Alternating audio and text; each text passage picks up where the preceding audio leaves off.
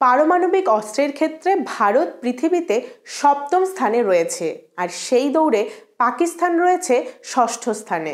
Agency federation of American সায়েন্টিফিকদের মতে, পাকিস্তান দু হাজার পঁচিশ সালের মধ্যে দুশো কুড়ি থেকে আড়াইশোটি পরমাণু তৈরি করবে। রিপোর্ট অনুসারে পাকিস্তান প্রতিনিয়ত ভূগর্ভস্থ ঘাঁটিতে পারমাণবিক অস্ত্রের মজুদ বাড়ানোর প্রস্তুতি নিচ্ছে।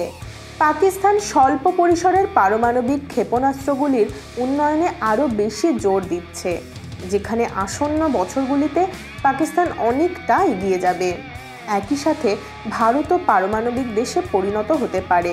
পাকিস্তান অন্যান্য দেশের সাথে যুদ্ধ চালাচ্ছে, তাই তারা এদিকে এগিয়ে চলেছে এবং তার অর্থনীতির একটি বড় অংশ পারমাণবিক অস্ত্র তৈরিতে ব্যয় করে। চ্যানেল হিন্দুস্তান।